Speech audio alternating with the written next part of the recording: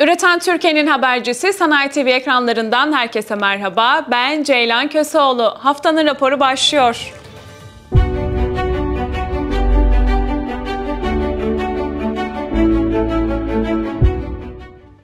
13 Şubat 2024 saat 14.30 sularında Erzincan'ın İliç ilçesindeki altın madeninde korkunç bir facia meydana geldi. Toprak kayması sonucu madenin içerisinde 9 işçinin de mahsur kaldığı bilgisine ulaşıldı. Daha önce de Anagold Madencilik ve SS Harmanik şirketlerinin faaliyet yürüttüğü bu maden sahası siyanür sızıntısı iddialarıyla da gündeme gelmişti. Enerji ve Tabi Kaynaklar Bakanı siyanürün Fırat Nehri'ne karışmadığını, korkulacak bir durumun şimdilik söz konusu olmadığını belirtti. Olayın ardından bölgeye çevre illerden jandarma, AFAD ve sağlık ekipleri sevk edildi. Arama kurtarma çalışmaları hala devam ediyor. Hepimize çok geçmiş olsun diyelim ve sıradaki haberimize geçelim. Son dönemlerde artan borsa ve bitcoin'e girip ani şekilde çıkan yatırımcı işlemlerinden sonra bakanlıkta harekete geçti. Hazine ve Maliye Bakanı Mehmet Şimşek, sermaye piyasalarında finansal okuryazarlık dönemini başlattıklarını aktardı. Dün Dünya genelinde pek çok ülkede toplumsal okuryazarlık bilincini yükseltmeye yönelik faaliyetler yürütülüyor. Finansal okuryazarlığın artırılmasıyla hane halkı ve firmaların tasarruf yapma farkındalığı da artırılmış olacak. Biyoteknoloji Vadisi İstanbul Temel Bilimler Üniversitesi'nin gündemine girdi. Üniversitenin ilgili bölümlerindeki öğrencilerin yetişmesi anlamında önemli bir merkez olması planlanıyor.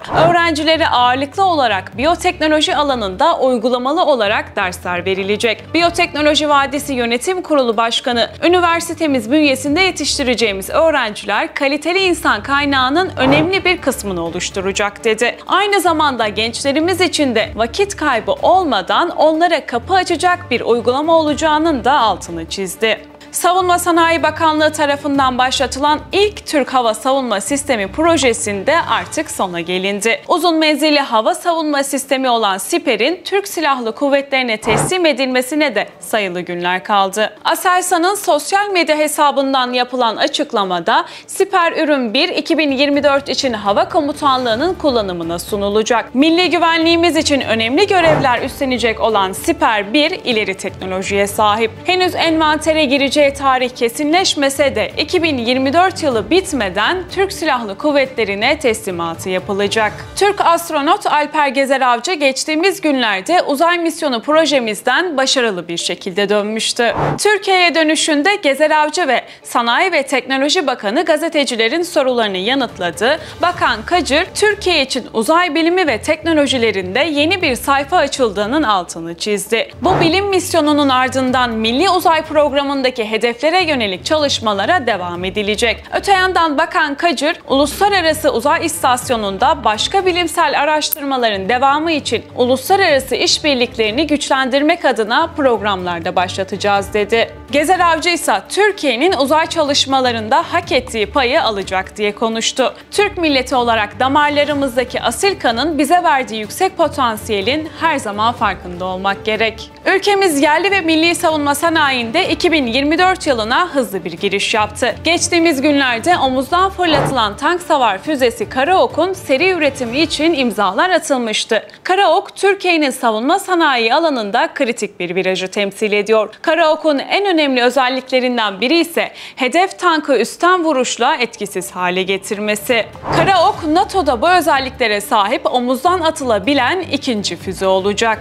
Öte yandan bu özelliklere sahip füzeler arasında Amerikalı Javelin dışında başka bir rakibi de bulunmuyor. Avrupa mutabakatı kapsamında başlatılan sürdürülebilirliğe geçişin bir ayağı da otomobil üretimiyle hayatımıza girmeye başladı. Son dönemlerde çokça artan elektrikli araçlara vatandaşların ilgisi de gittikçe artıyor. Araçların çevre dostu olmasının yanında sürüş performansı, batarya dolumu gibi yönlerden masraf avantajı da sağlıyor. Bilim insanları elektrikli araçların tek bir şarjla 1000 kilometreden fazla yol kat edebileceğini de söyledi. Bu sayede sürücüler araç bataryasının ne kadar dayanacağına dair endişelerinden de kurtulmuş olacak. Türk Silahlı Kuvvetleri'nin haberleşmesi ihtiyaçlarının karşılanması için kurulan Aselsan farklı projelerle adından söz ettirmeye devam ediyor ediyor. Aselsan deprem ülkesi olan Türkiye için güvenli binalar oluşturma anlamında da çalışmalar yapıyor. Güvenli binalar ve şehirler oluşturmak için Aselsan Net tarafından bir izleme sistemi geliştirildi. Elektronik beton izleme sistemi şu anda 433 yapıda kullanılmaya başladı. %99'un üzerinde doğruluk oranıyla çalışan sistem sayesinde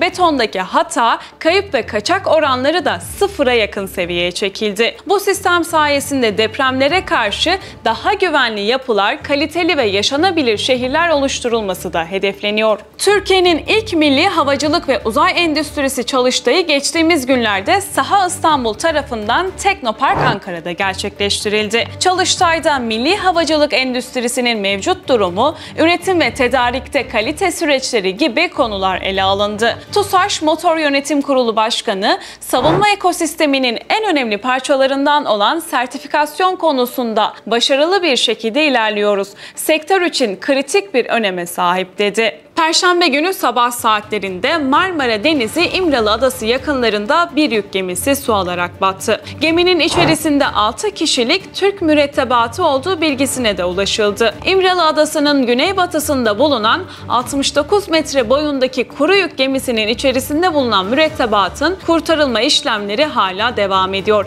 Aynı gemi daha önce de karaya oturmuş. Bursa Valisi Demirtaş, Mudanya'da bir kriz merkezi oluşturduklarını, kurtarma çalışmaları çalışmalarının da koordineli bir şekilde devam ettiğini aktardı. Haftanın raporuyla karşınızdaydım. Bir sonraki hafta tekrar görüşmek dileğiyle. Kanalımıza abone olmayı ve bizi takip etmeyi unutmayın. Hoşçakalın.